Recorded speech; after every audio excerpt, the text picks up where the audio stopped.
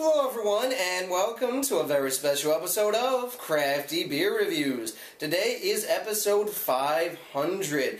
That's right, 500 reviews. I've been doing this YouTube thing for over three and a half years now and I finally hit this special milestone. So, really looking forward to sharing a very special beer with you guys. This is none other than Jackie O's Bourbon Barrel Aged Champion Ground. This is a one-off Imperial Stout that they brewed, and they didn't know exactly what they wanted to do with it. So, they let it age in bourbon barrels for 11 months, and right before packaging, they decided to add Jamaican Blue Mountain coffee to this, which is supposedly some of the best and most expensive coffee on planet Earth. As a matter of fact, you can find that in a few of the AleSmith Speedway Stout variants. So, really cool stuff.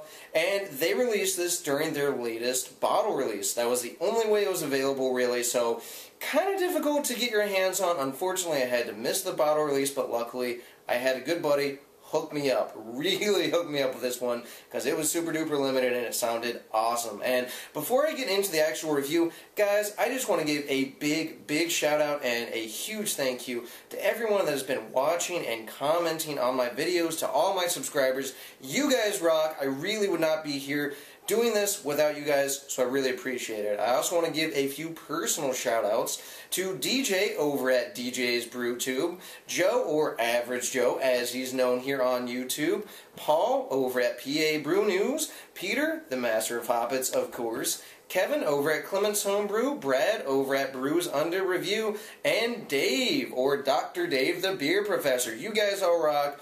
Awesome, awesome stuff. Please go check out their accounts, guys they do some awesome, awesome stuff. Without further ado, I've been looking forward to this beer for a while. At time of recording, this was packaged about six weeks ago. Let's go ahead and check out the aroma. Oh my god, wow.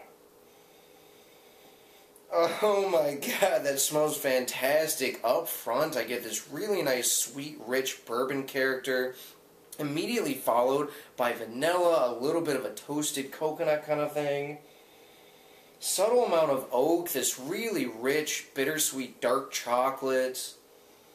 A little bit of a milk chocolate thing going on as well. And I'm surprised. I get some coffee roasted notes, but it's not as coffee forward as I would have expected from this yeah, it's got a really nice kind of medium roast level coffee smell, and there's some like caramel and toffee notes in there as well, but it's not as big in the coffee as I would have assumed.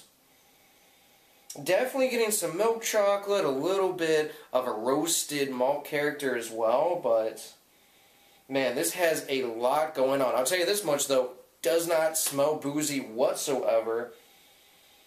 Yeah, that smells fantastic. Let's go ahead, take our first sip. Cheers, guys.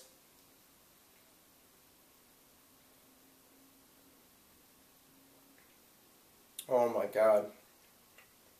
Wow. Wow, wow, wow, wow, wow. Wow.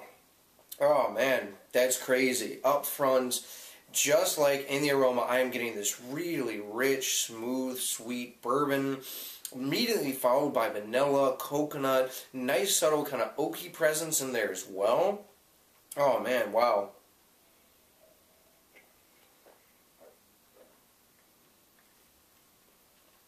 After that, I'm definitely getting some of that dark chocolate, milk chocolate combination. I am getting a little bit more of that coffee note in there now, but again, it really wasn't too present in the nose, but it's got this really nice kind of espresso, kind of light roasted, medium roasted coffee bean kind of taste to it. Really, really nice.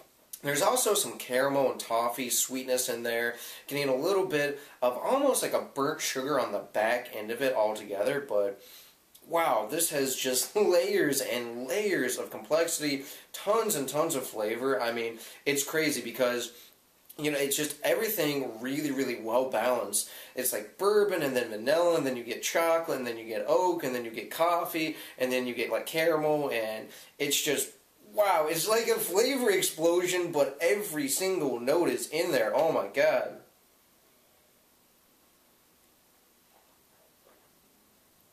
Mmm.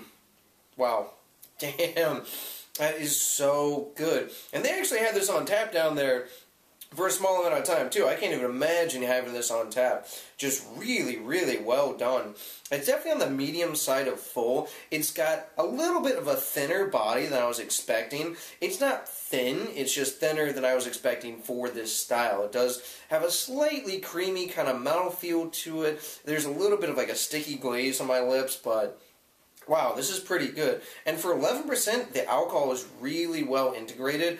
I didn't smell any, I don't taste any. I get a definite warmth as it goes down, but I mean, it's six weeks old and it's, you know, an almost year old bourbon barrel aged beer. So go figure there's going to be a little bit of warmth, but it's not, you know, bad at all. And I got to say, for having all these sweeter notes, it's not a cloyingly sweet beer. Just really, really well done.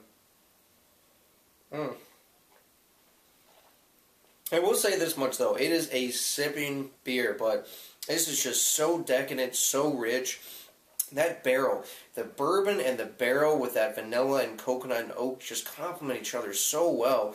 And then you get those chocolate notes, the toffee, the caramel, the coffee, just really, really nice. It's like this smooth espresso. It's like a chocolate covered espresso bean, and then you get like vanilla and you get bourbon, and it's just, wow, fantastic beer.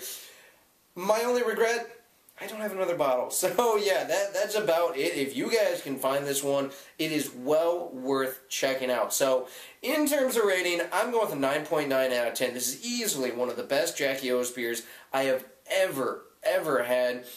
And it's easily one of the best beers I've had all year. Now, the only reason I'm not giving it a full 10 out of 10 is the body is a little bit thinner than I was hoping for.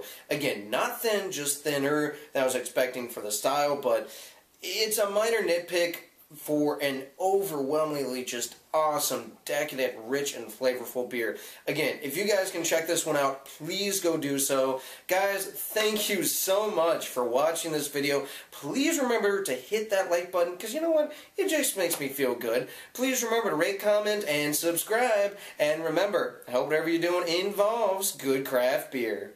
See ya.